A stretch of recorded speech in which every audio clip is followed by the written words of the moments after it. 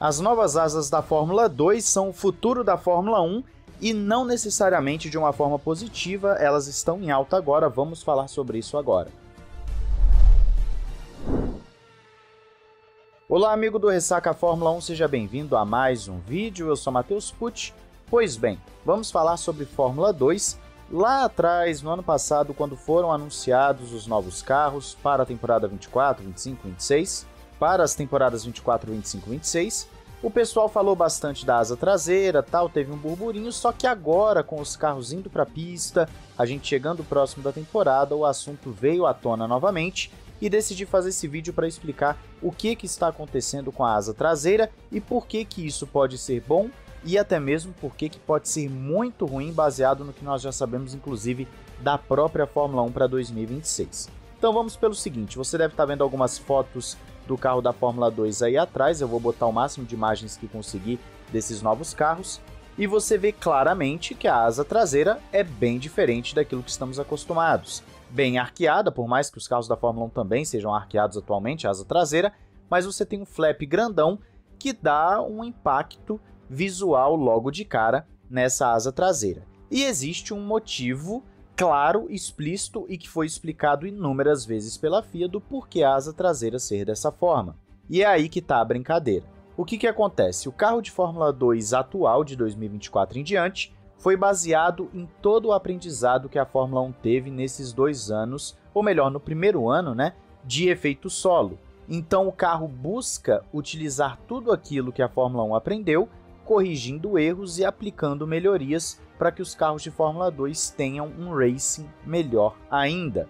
Claro que os carros de Fórmula 2 não serão tão rápidos quanto os de Fórmula 1, existem restrições, mas dentro do escopo da Fórmula 2, eles pegaram tudo aquilo que podiam da Fórmula 1 e melhoraram. E a asa traseira acaba sendo o fator mais visível, só que em todos os campos, em todas as áreas da aerodinâmica, da mecânica, os carros foram melhorados, tanto é que a Fórmula 2 não espera ter porpoising, por exemplo, nos seus carros. Na prática, a gente vai descobrir isso muito em breve. Só que a asa traseira tem um motivo muito explícito. E o que, a FIA deu como justificativa formal para essa asa traseira? O intuito é gerar mais ultrapassagens através do DRS, é deixar o DRS muito mais poderoso, nas palavras da própria FIA. Com essa asa traseira no formato, você vê que ela é mais arqueada e também ela tem uma parte que fica um pouco mais, como posso dizer, levantada do que a asa traseira da Fórmula 1. Você gera um pouco mais de arrasto para o carro da frente e o carro de trás que está vindo com o DRS aberto acaba tendo um ganho de DRS muito maior do que o que nós temos hoje em dia. Então você tem duas vertentes aqui o carro que tem mais arrasto aerodinâmico e também o carro de trás, que acaba tendo um DRS mais poderoso do que o que nós já temos. Em tese, isso vai fazer com que os carros ultrapassem muito mais facilmente nas retas do que já acontece hoje em dia, só que também há uma expectativa de justamente por corrigirem os erros da Fórmula 1, os carros possam seguir o outro da frente com muito mais facilidade durante as curvas. Então você teria um ganho em perseguição nas curvas, só que uma ultrapassagem muito mais fácil nas retas. E é aí que entra o lado da Fórmula 1 nisso tudo e o porquê isso pode ser bom ou pode ser muito ruim.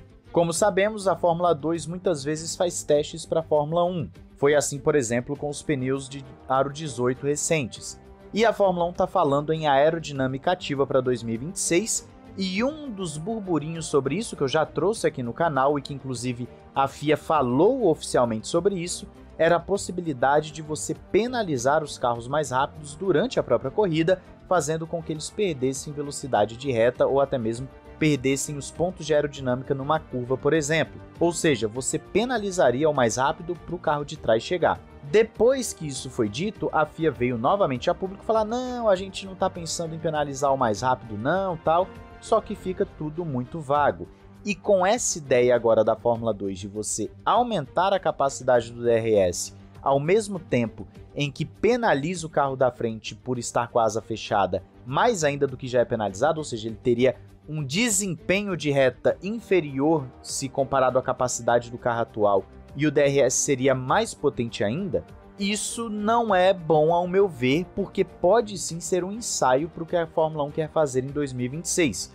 Nós temos que lembrar que o regulamento de 2026 da Fórmula 1 está passando por uma série de questionamentos, inclusive das próprias equipes, porque você teria um motor que não daria conta de empurrar o carro durante uma reta longa e por isso precisariam da aerodinâmica ativa para compensar essa falta de potência do motor.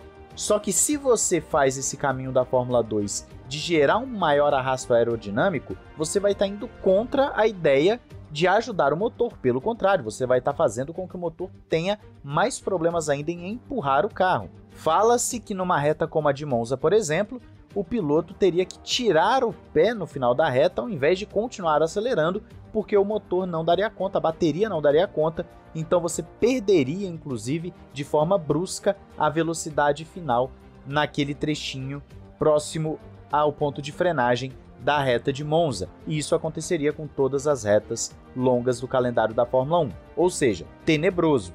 Essa é uma preocupação real e por isso a FIA tem falado que vai mexer na aerodinâmica ativa e está falando que as simulações estão muito boas e tudo mais, só que gera um medo querendo ou não. E quando nós vemos essa ideia da Fórmula 2 de deixar o DRS mais potente ainda e além disso você ainda deixar o carro da frente mais lento ainda de reta do que já é atualmente, você está mexendo nos dois extremos. Você não está fazendo nem só que o de trás fique mais rápido do que já é, nem só que o da frente fique mais lento do que já é na defesa de posição. Você está mexendo nos dois ao mesmo tempo, o que para mim é absolutamente contrário ao que a Fórmula 1 precisa e ao que o esporte em si, o automobilismo precisa. Eu faço alguns comparativos aqui no canal para exemplificar para vocês. É como se você tirasse a possibilidade do zagueiro desarmar o atacante quando ele entra na área. Você ia ter jogos aí com 6 a 5, 10 a 9, todo jogo ia ser um, um festival de gols, mas não necessariamente seria bom, seria agradável de assistir, seria empolgante. E no automobilismo é isso. Quando você tira a possibilidade do carro da frente de se defender e você dá muita vantagem para o carro de trás, você está fazendo com que perca o brilho da disputa por posição, que é o ápice do automobilismo. O ápice é justamente a disputa por posição, abrigo, botar de lado, levou um X, tenta de novo, persegue o cara da frente. Isso é o que faz ficar empolgante. Quando você tem uma série de trocas de posições fáceis, tira o brilho e tira o impacto daquilo. A torcida, inclusive, leva para um lado de menor emoção do que na disputa por posição por si só. Imagina Senna e Prost, ao invés de ficarem se degladiando, simplesmente aperta ali o DRS e vai embora. Você não tem o impacto da disputa em si, porque o impacto da disputa é o que faz o piloto, por um milímetro, por um centímetro, tocar na roda do adversário ou não. É o que dá o brilho do cara, às vezes, fritar o pneu num ponto de frenagem, ou às vezes embarrigar uma curva. A disputa que leva o piloto ao limite. Não é o DRS. O DRS tira o limite do piloto. E essa ideia da Fórmula 2 é muito perigosa para a Fórmula 1.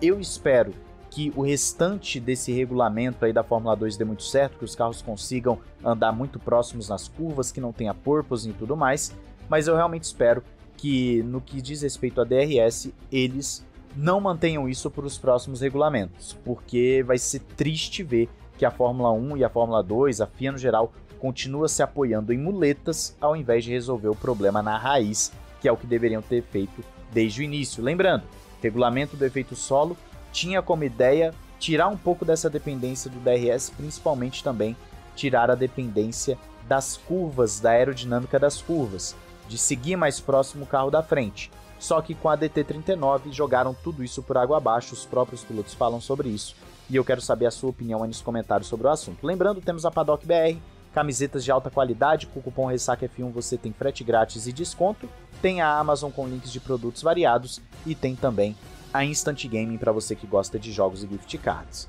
Um grande abraço, valeu e falou!